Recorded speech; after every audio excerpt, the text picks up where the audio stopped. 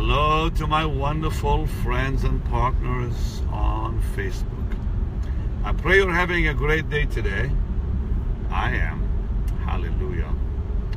I'm driving today in Los Angeles and uh, I want to just spend a few moments with you talking about something really exciting. But first, I want to thank you for being my wonderful friend and my partner. You're the greatest, by the way, best partners in the world. That's you. Let's pray. Let's believe the Lord for a good day today for all of us. Blessed Jesus, I pray. Bless your sweet people. Anoint them today mightily in the name of Jesus. Lord, even as I'm driving today, I'm expecting miracles for your people, your partners, Lord, they're your partners. Bless them, meet every need in Jesus' name. And God's people said, Amen. Well, you know, I love teaching when I'm driving because it kind of relaxes me. Somebody said with one of the comments a few days ago, I didn't know Pastor Benny drives. I drive all the time. I don't like people doing things for me. You know, I'm, I'm kind of very independent. Sometimes I'll have Timmy drive here, especially if I have to be on the phone working. But a lot of times I drive myself because I enjoy it. Anyways, let's let's talk about seeing faith. The story in Genesis. Oh, hallelujah. I want to shout glory to God. Somebody say amen. Amen. Tim is over here. Tim, just say hello. Hey everyone. Well, let him see you first. Hey everybody. Sometimes he gets so excited he starts talking in tongues. Amen. And anyways, here's Abraham inside his tent having a bad moment. He was discouraged that day. And he looked at Eliezer and he said, Is that all I got? you like that, don't you, Tim? That's so funny. When it's true, he was Yeah, sitting yeah. looking at Eliezer and wondered, Is this all I'm going to be stuck with? Yeah. And he said, Lord, what will you give me, seeing I go childless? And the Lord said, Uh oh, we have a problem. We we gotta change his vision right now. Because he was seeing emptiness. You see, faith is something we see. Because Abraham said, Seeing, what will you give me, seeing I go childless? And the Lord said, Now we have to change his vision. So what does God do? He says, Okay, Abraham, come come out of your tent and look up at the sky. It was at night. He said, Count the stars, because you can't see stars in the daytime and count them anyways. So it was probably nighttime, maybe it was a late hour where he was just discouraged. The Lord said, Come, come out of the tent and change your vision. And then he began counting the stars and came to a place that, Lord, I can't count no more, there's too many. So shall thy seed be, the scripture says. And he believed God. Now, you cannot have a miracle unless three things happen in your life. Number one, information. Number two, observation. Number three, operation. God will not cause the operation, that's the miracle, without you having observation. And an observation means you observe, you see it. And that's all found, by the way, in Joshua chapter 1. This book of the law shall not depart out of your mouth, but you'll meditate therein day and night. That's information. That thou mayest observe. Observe. That's observation. The third thing God said, now you're going to have good success and be blessed. That's the operation of God. So think about this. Abraham had to see it before he could get it. And when he saw it, everything changed. It was after seeing his miracle, God declared him righteous. It was after seeing his miracle, God changed his name to Abraham. Now, here's something powerful. The minute he saw it, God changed his name. Because the, the, the, the minute you see a miracle, you declare it. So watch this. God says, Now your name is no longer Abram, your name is Abraham. So what does Abraham mean? The father of multitudes. So every time Abraham came and said, Hello, My name is the father of a multitude. Shake hands with somebody say, I'm the father of a multitude. Mm-hmm. He was declaring God's promise. It's important to understand the power of declaration. Declaration and vision come together. The second you observe, you'll declare it. So, but the first key is, opera- uh, is the uh, information. You have to receive the word of God before you can ever see a vision. So, yeah, observation is important. Seeing their faith. The Bible says about the Lord in the Gospels, seeing their faith. Faith was was was was being seen literally in action. Seeing their faith, he saith, this is Matthew 6. Seeing their faith, the Lord says, so, sorry, uh, Matthew 9, verse 6. Seeing their faith, he said to the man, Your sins are forgiven. Rise up and walk, he said that later. But the, the important thing, by the way, I love teaching the Bible while, while I'm driving. I have a great, great time. And I love talking to you, by the way, because you're the greatest. Our partners are the best in the world. Hallelujah. Well, anyways, he saw their faith. Abraham wasn't seeing faith, so God had to change that. He was seeing emptiness. He was seeing nothingness. And God said, we have, we have a problem. We, we, we have to change this now. So he had him count the stars. And then he declares, so will your seed be. Now remember, remember, that right after that is when the devil tried to interfere with that. When Sarai said to Abram the time, she said, well, I'm getting too old.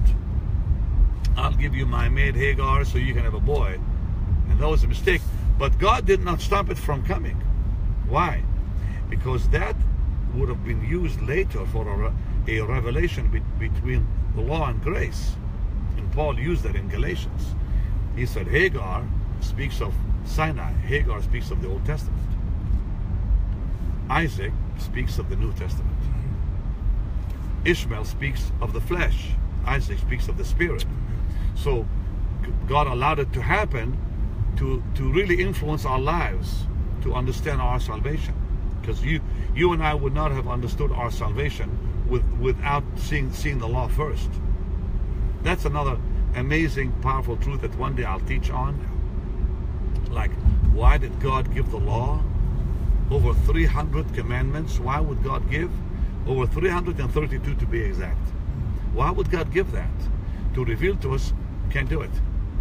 It was a school that, that, that basically revealed I, can, I need God's mercy and grace. There's no way I can be righteous by obeying all these hundreds of rules. But that's that's Hagar. That's Ishmael. So we need the Ishmael to understand the Isaac. We need the Hagar to understand God's promises. And that's for another time. I'll, I'll, I'll teach on that later.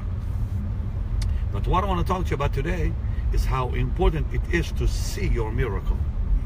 Because when you see it, God will do it. If you don't see it, God will not do it. But how do you see it? By reading the Word. You have to receive information before you have observation and before God will bring about the operation of the miracle.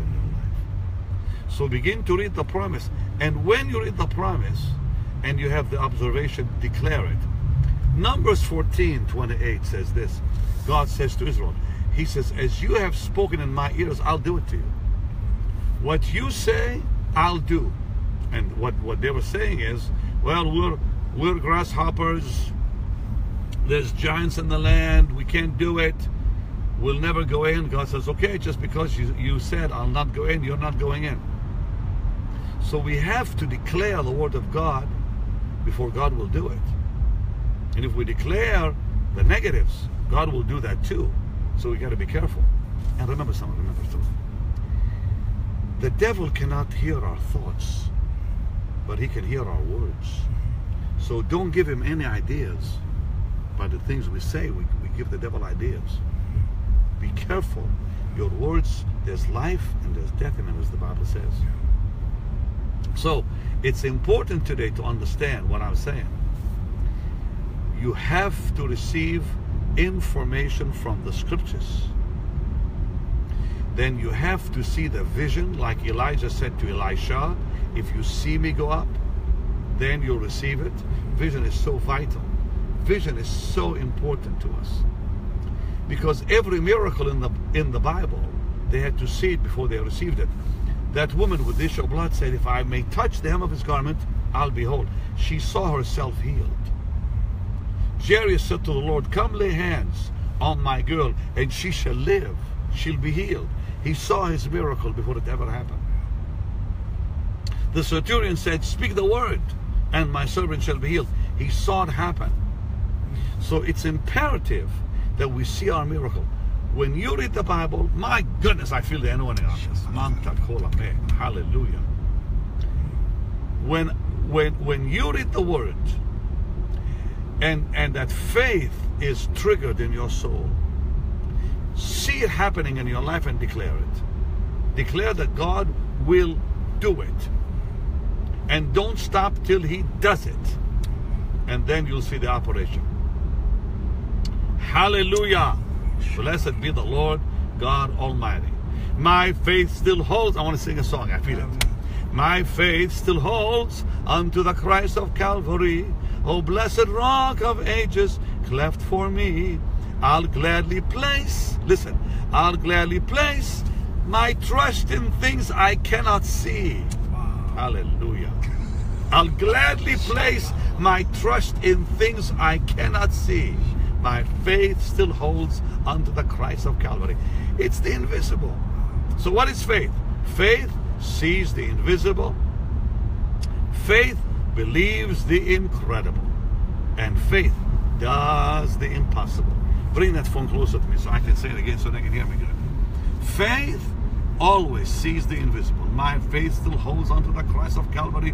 Oh, blessed rock of ages, cleft for me. I'll gladly place my trust in things I cannot see. So, invisible. We see faith will always see the invisible. Faith will always believe the incredible.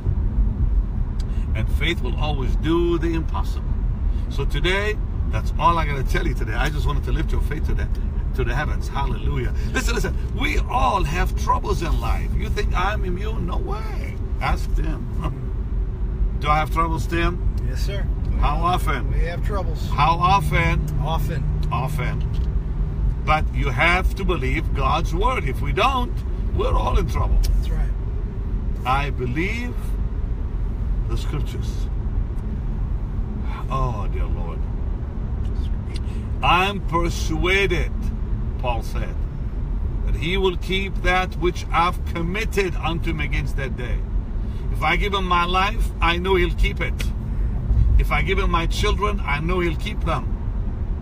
If I give him my future, I know he'll take care of it. So trust him today. Trust the Lord. Listen, even while I'm driving, I'm telling you this. Begin to read the scriptures Begin to see the scriptures. Begin to declare the scriptures when you see them. And watch what God will do. His mighty operations will begin in your life. It begins with information. Information will birth observation, and observation will birth operations. Glory to Jesus. Somebody say, Praise the Lord. Praise the Lord. Well, I want the people to say to you, in fact, why don't you write it down for me? in a comment. Just put praise the Lord. I tell you, because there's power in praise. When you start praising the Lord, He'll do it for you.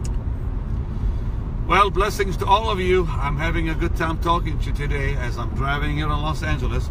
And I want to let you know can I please shout? Hey! Hallelujah! Anyways, I want to tell you about our brand new network. Love World USA is a reality. It's on the air, it's on cable, Spectrum Cable. Go ahead and look us up, and we're there. If you have Spectrum, you can find us. And Love World USA is focused on the power of God. And tell your friends about it, please. We're already on. We begin July 1. And uh, this is with Pastor Chris Oyakhilome. He and I have partnered together to launch the network. This is not in place of what I'm doing for the Lord. This is in addition to what I'm doing for the Lord. Benny Hinn Ministries continues. I'm still traveling the world, ministering the healing power of God. I'll be in New York August uh, 10, 11, 12, 13, and 14. I'm in New York. And then I'm in Europe uh, the end of August, right through September 10. I'm going to Belfast. I'm going to Holland. I'm going to uh, France, before actually France first, uh, Paris, France first with Pastor Abraham. Then I go from there to Belfast, great massive conference. Then I go from there to Holland, another conference. Then I go from there to uh, Germany, Berlin, Germany. Sorry, Bulgaria, and then Germany. Bulgaria with my friend uh, Pastor Maxims in Sofia, Bulgaria, and then we go from there to Berlin. So I'm still traveling the world, but Love World USA is in addition to all that. I'm loving it. I'm doing a lot of live uh, programs. Uh, Pastor Chris Oyakhilome, my dearest friend in the whole earth right now on the planet. I love that man dearly. Uh, he and I, the Lord gave us a great vision to launch this network that uh, is dedicated to showing them God's power. Today I was talking to Jeff about putting some of the great things that I've seen in my life. Uh, the uh, what we call the Oral Benny project, when Oral Roberts oh, and I came, yeah. came together and did a whole project on miracles. We'll be airing that next week.